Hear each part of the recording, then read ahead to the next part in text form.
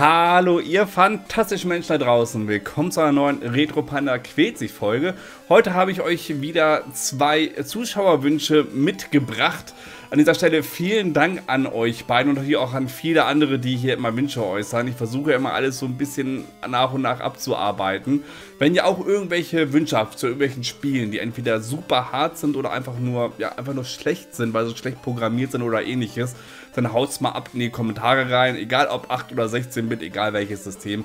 Irgendwann schaue ich mir die sicherlich einfach mal an.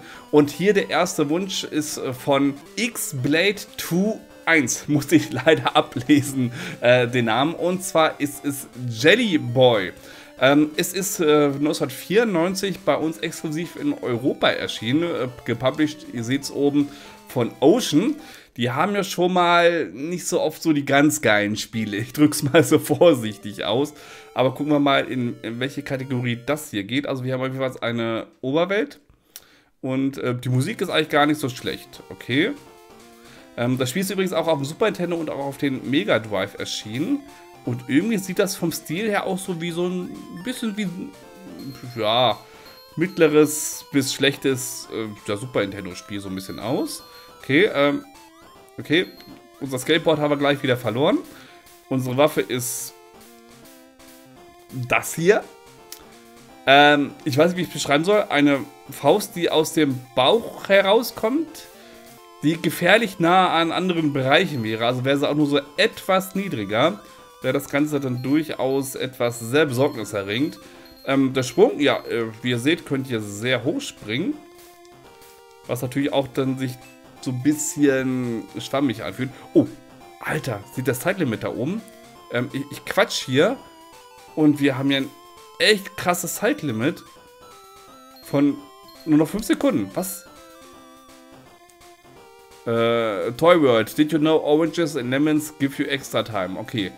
Ah, okay. Ich soll hier also Orangen und ähm, Zitronen einsammeln. Die geben mir extra Zeit.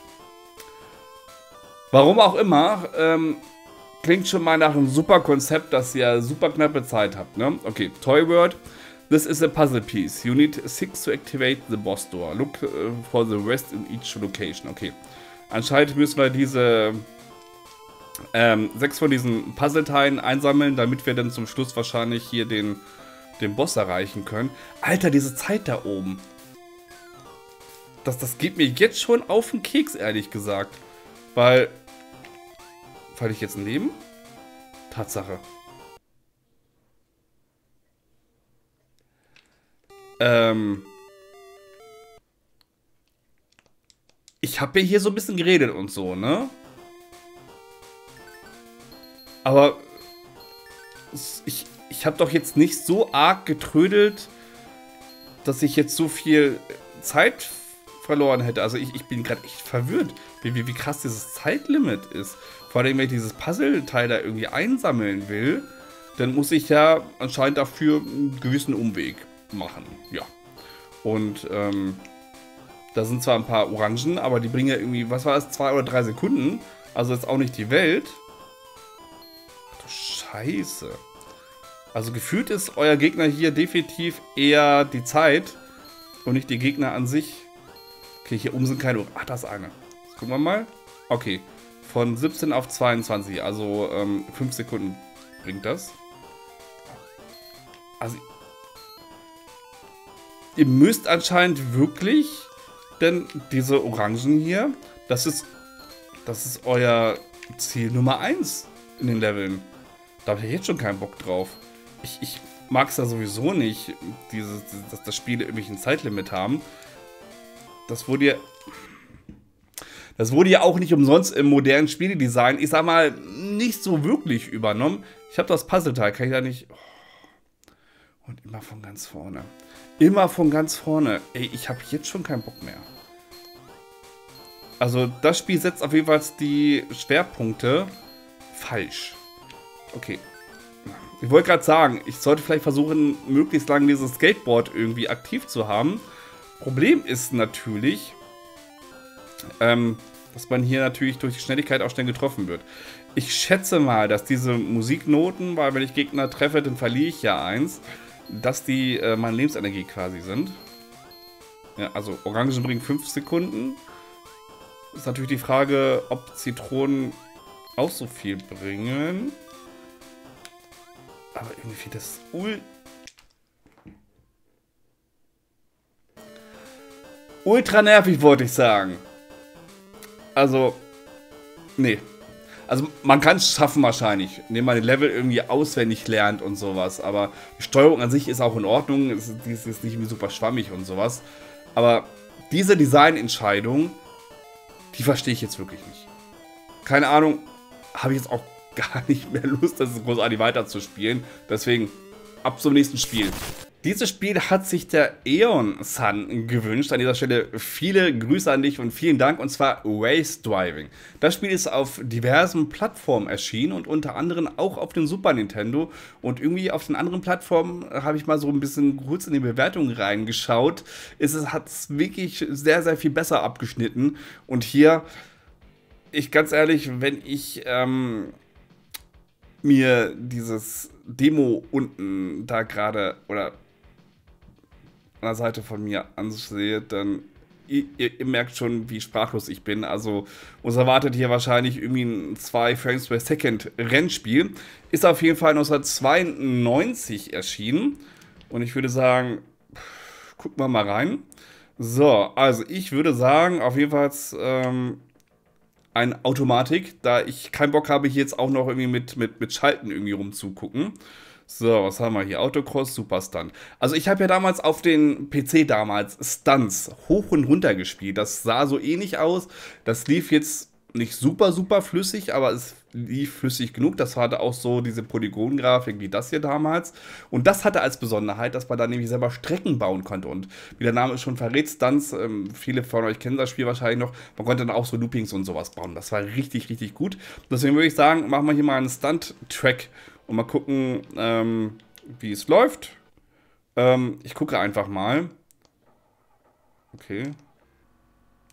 Wo gebe ich Gas? Okay, hier gebe ich Gas. Ach du Scheiße. Ach du Scheiße. Guckt euch das mal an.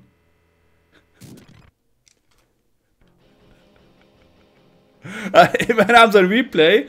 Ähm, bin ich da jetzt so schnell wie rüber, rübergefahren? Der, der, der Flug, der war irgendwie gefühlt sehr, sehr lang.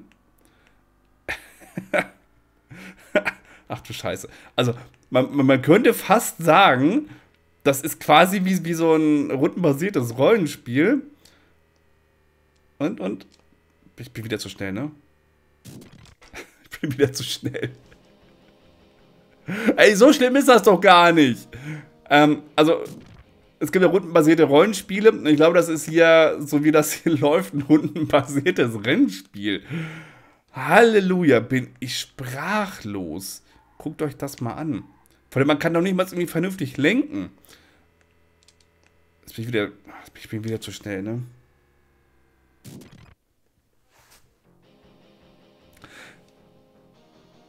Ich lerne es aber auch nicht. Weil so mein, mein Gehirn sagt, da ist eine Sprungschanze, ich besitze ein Auto, ich muss Gas geben, dass ich da auch vernünftig rüberkomme. Okay, so, alles klar. Wir fahren jetzt hier mal mit so, sag mal so 50 Miles per viel zu langsam, nicht mal ansatzweise. Ich glaube, da braucht man jetzt viel Trial and Error, bis man die richtige Geschwindigkeit irgendwie rauskriegt, oder? Aber sagen wir es mal so, das Spiel tut jetzt nichts dafür, dass man das auch wirklich will. So, jetzt gucke ich mal. Ich gucke es mal so mit 80. Ich habe es geschafft.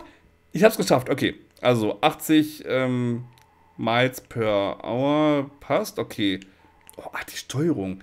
Dadurch, dass das so ruckelig läuft, ist die Steuerung halt wirklich beschissen. Ja, fahr ich wollte gerade sagen, fahren wir zwei Runden mit dem Looping. Da musste ja schnell sein, logischerweise, damit, damit man natürlich ähm, der Gravitation trotzen kann.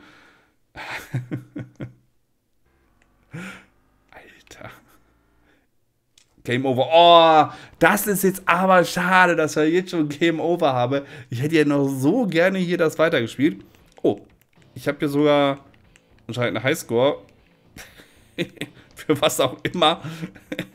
also, es ist, kann definitiv nicht an meiner Leistung. Ja, okay, Panda B. Ja, ja, ja, komm. Ähm, ich will noch kurz einen anderen Spielmodus antesten. Ja, so. Okay. Also da haben sie sich echt nicht... Ähm, ich versuche hier mal so einen Roadster. Da waren sie, glaube ich, ähm, echt zu, zu optimistisch, das einigermaßen vernünftig auf den Super Nintendo portieren zu können.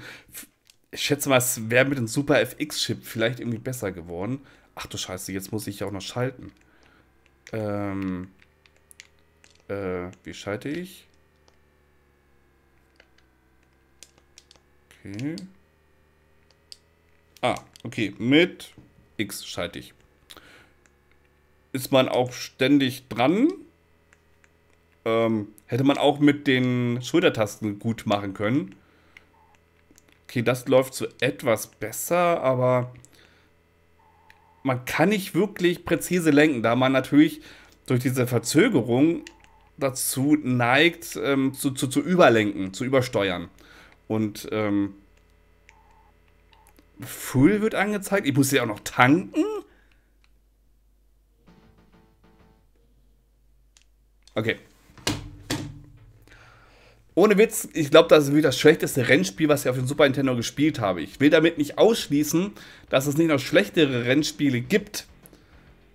Aber das ist ganz vorne mit dabei. Also wirklich ein, ein würdiger Kandidat, ein guter Wunsch für diese Serie. Vielen, vielen Dank für diesen Wunsch und ich hoffe, ich konnte euch mit diesen beiden Spielen so ein bisschen zumindest Freude irgendwie vermitteln. Und schön, dass ihr reingeschaut habt und ich wünsche euch noch einen wunderschönen Tag, egal was ihr noch vorhabt, ihr Lieben. Tschüss.